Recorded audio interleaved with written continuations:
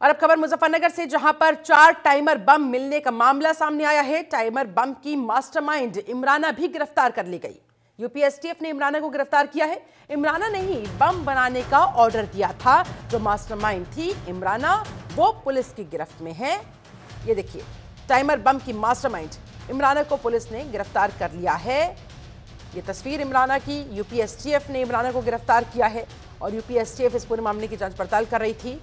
इमराना ने ही ये टाइमर बम बनाने के ऑर्डर्स दिए थे, जिसके बाद जाँच में तार जैसे जैसे जुड़ते चले गए, इमराना तक पहुँचे।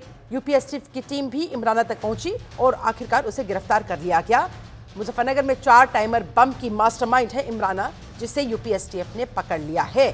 और अब पूछताछ के ज़रिए कोशिश की जाएगी ये पता लगाने की कि और भी कौन कौन लोग संलिप्त हो सकते हैं। इस पूरे प्लान के पीछे इनका क्या मकसद था? इमराना ने ही दरअसल ये टाइमर बम बनाने के ऑर्डर्स दिए थे, जिस वजह से वो पुलिस की गिरफ्त में आई है यूपीएसटीएफ ने। उसे गिरफ़्तार किया है और अब उससे सख्ती के साथ पूछताछ की जा रही है। टाइमर बम की खबर सामने आने के बाद हर कोई चौंक गया था। पूरे इलाके में सनसनी फैल गई थी और जब यूपीएसटीएफ ने जाँच पड़ताल शुरू की, उसके बाद कड़ी से कड़ी जुड़ते हुए जाँच के तार इमराना तक पहुँचे और उसके बाद फिर यूपीएसटीएफ की टीम ने इमराना को भी गिरफ़्तार कर लिया।